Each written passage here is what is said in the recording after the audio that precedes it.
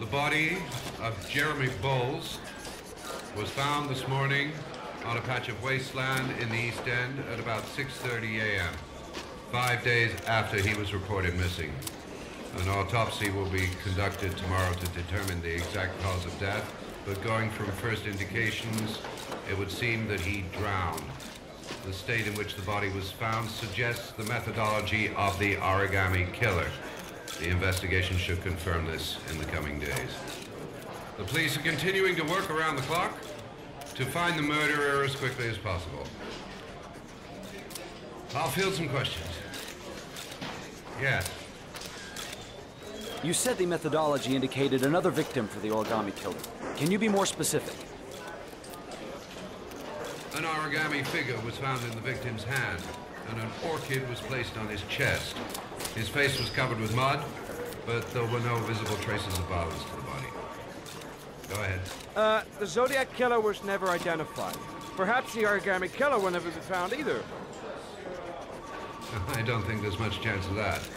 For the moment, the killer may think he's invulnerable, but in the end he'll make a mistake and we'll be there to arrest him. Yes?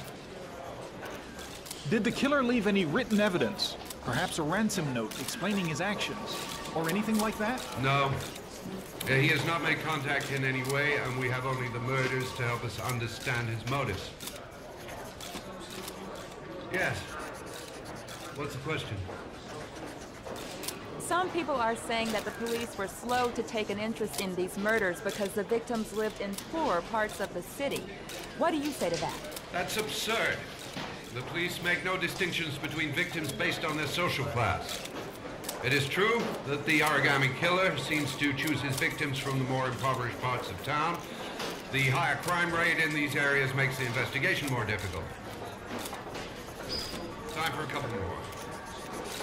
Yes. There are rumors that the FBI has sent a profiler to help with the investigation. Is that true? You seem to be well informed. Yes, we asked the FBI to send us a profiler to help us with this investigation. We were planning to announce this in the next few days, but it seems that won't be necessary. According to certain sources, the town hall's been applying pressure to avoid any mention of a serial killer in order not to have an adverse effect on the mayor's election campaign. Do you have anything to say about that? Pure speculation. At no time has the mayor been involved in this investigation, except to support the efforts of the police force, of course. Thank you for your cooperation. One question, please, sir. One last question. Captain Perry, one more question, please.